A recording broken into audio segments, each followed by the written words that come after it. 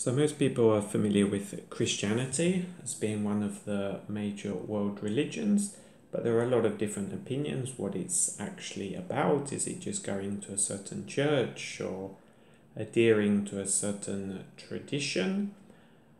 When I was growing up, I was very aware of uh, Christianity and I wanted to be a Christian, but it was only when I was a student that I started asking myself the deeper questions of what's it all really about and what's the meaning of life. And so one day I prayed to God that if He's truly there, He would reveal Himself to me, and He started to do that. Um, particularly, I started to read Bible verses, and they spoke to me in a personal way. And at one stage, I participated in a course at my university where we had six uh, meetings uh, studying different topics from the Gospel of Mark. And at the last meeting, the person there he explained very uh, clearly what the overall message of the Bible was. I understood it. Suddenly, everything became clear as crystal, and I accepted this message into my life. And this is what uh, changed my life.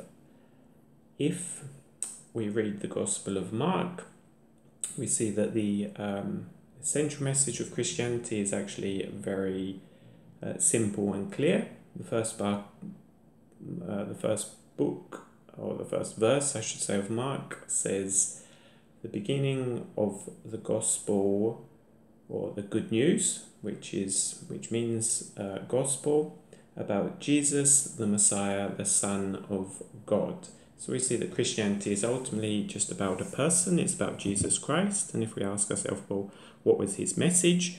We see further on in Mark 1:15 that when Jesus started his ministry, he said, uh, "The time is has come.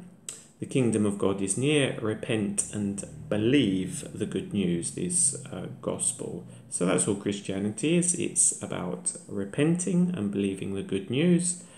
Uh, an illustration I heard for repenting is that um, Somebody I know from Germany went to America with the plan of buying a car on the East Coast and driving it to the West Coast. He bought the car on the East Coast, he started off on the highway, uh, traveling in a direction, but he noticed that on the road signs, E was written. After a while, he started thinking, well, I wonder what this E is all about, and eventually he stopped, got out his map, uh, looked at it and he realized that E meant east. So he'd wanted to go west, but for about 100 kilometers he'd been driving east. So what did he do? He got back into his car, he turned it around, and he went back in the other direction. So this is repentance. It means to realize that you're going in the wrong direction, to stop, to turn around and go back in the right direction.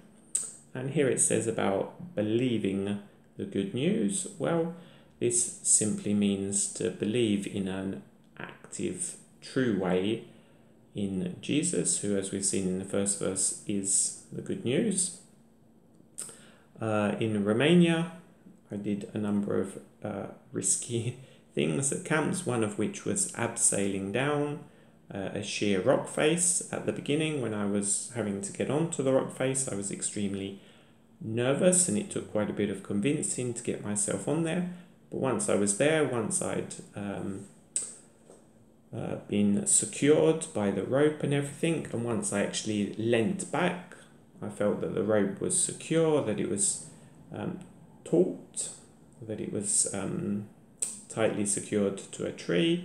And as I leaned back, I felt it supporting my weight, and gradually I started to trust in it. I gradually started to move down the cliff face. And once I got going, it wasn't so bad. I trusted the rope and I made it to the bottom. So, this is what it means in the Bible when it says believe the good news or believe in Jesus. It means to actually trust in Him, to trust that His plan is best for our lives, to trust that He has died and paid for our sins, that we don't need to do any good deeds or the like to cover those over. We simply need to trust that our sins have been forgiven, that He's paid the price for them.